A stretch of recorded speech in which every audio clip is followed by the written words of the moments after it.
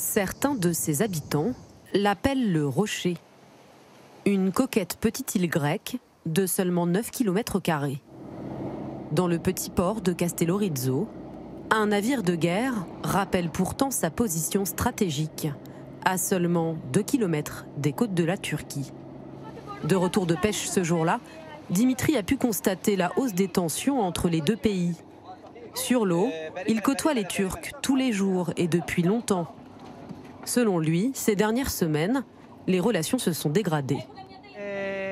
Ce qui a changé ces derniers temps, ce sont surtout les provocations des gardes-côtes turcs.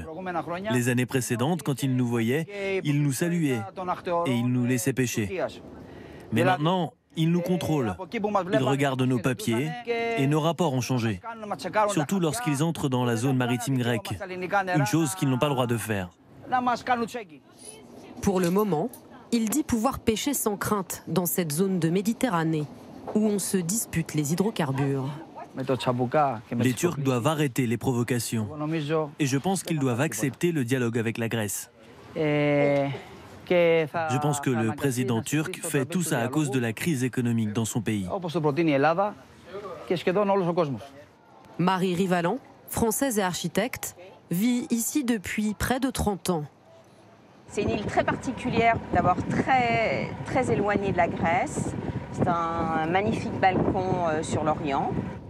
Un balcon sur l'Orient qui donne directement sur la petite ville turque de Kaş. L'hôtel qu'elle possède offre une vue plongeante sur la rive adverse.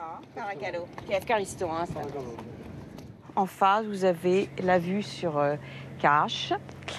Euh, qui, on a vraiment l'impression qu'on pourrait nager jusqu'à jusqu'à. D'ailleurs, c'est ce qui se passe. Il y a des, il y a des compétitions d'organiser. Le contexte diplomatique et l'épidémie de Covid ont désormais rendu impossible son accès. Ça nous pénalise en, termes d'approvisionnement, surtout de produits frais, de légumes, de fruits, parce qu'il y, a un marché à Cache qui est très agréable. L'île de Rhodes est quand même très très loin, à 3 heures euh, de bateau, 3 heures et demie de bateau, alors que là on rejoint Cache en 20 minutes avec des, petits bateaux euh, pour aller faire notre marché, pour aller, faire, euh, pour aller nous approvisionner. Enfin pour l'instant, c'est difficile. Face à la montée des tensions, Plusieurs de ses clients grecs ont même décidé d'annuler leurs réservations. Perdre les touristes, c'est l'une des craintes des résidents de l'île. Sur les terrasses, des militaires en civil et quelques vacanciers. Comme beaucoup ici, Georges, patron de restaurant, a une histoire intime avec la Turquie. Son père est resté 46 ans dans une prison turque. Ma mère, c'est le pilier de la maison. Les Turcs ont arrêté mon mari pour deux sacs de café.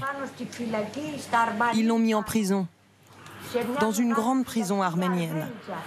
Il y avait des centaines de Turcs et seulement deux autres Grecs. Aujourd'hui, ils revendiquent tous deux de bonnes relations avec les voisins turcs, mais pas au point de céder leur île. Beaucoup de gens veulent cette île depuis toujours, beaucoup de pays.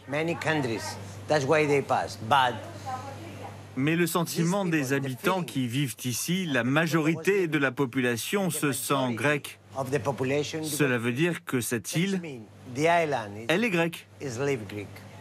Je ne vais pas devenir nationaliste, mais c'est ça la réalité. Castellorizzo se voit définitivement en bleu et blanc, avec ses drapeaux qui s'affichent fièrement. Dimanche, la présidente grecque viendra célébrer cette identité sous bonne garde, l'anniversaire du rattachement de l'île de l'Italie à la Grèce en 1947, tout un symbole.